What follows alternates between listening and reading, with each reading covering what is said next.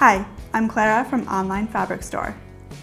Decoupage is a quick and easy way to add interest to otherwise plain surfaces like furniture, boxes, and other crafts.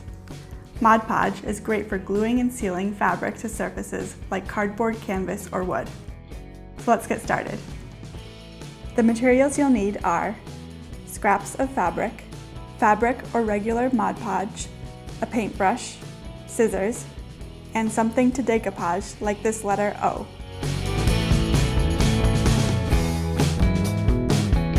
First, I'm going to cover the front of this letter O with a base layer of fabric.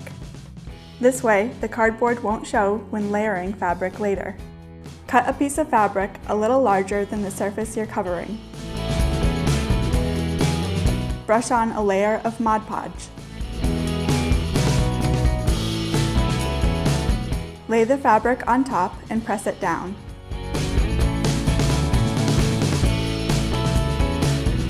Glue down the overhanging fabric.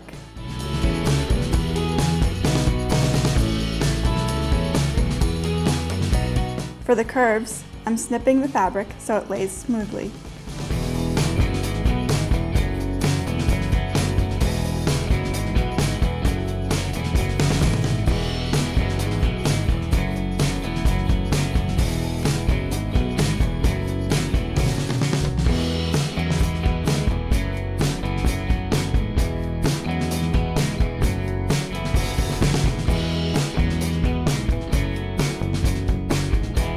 Next, I'm going to cut out a bunch of triangles. Cut a 2 inch strip of fabric. Then cut diagonal lines to form triangles.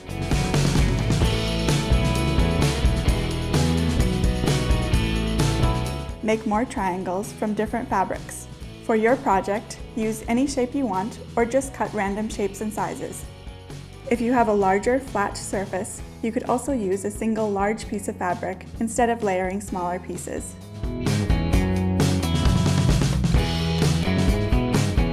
Brush on some Mod Podge, just enough to glue one piece.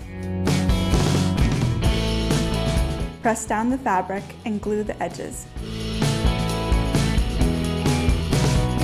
You can place the pieces randomly or in a pattern.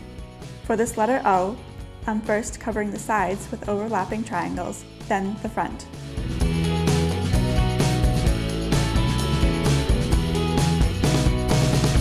Continue to glue on pieces until the object is covered.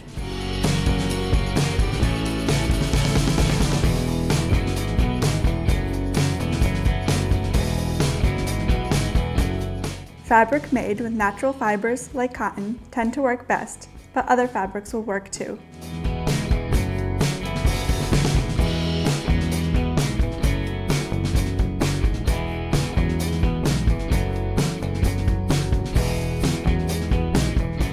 Finally, go over the entire piece with another coat of Mod Podge. Let the glue dry completely and the Mod Podge will turn clear, providing a durable, decorative finish. From shabby chic to bold and modern, decoupaging with fabric can complement many styles. Thanks for watching this OFS project.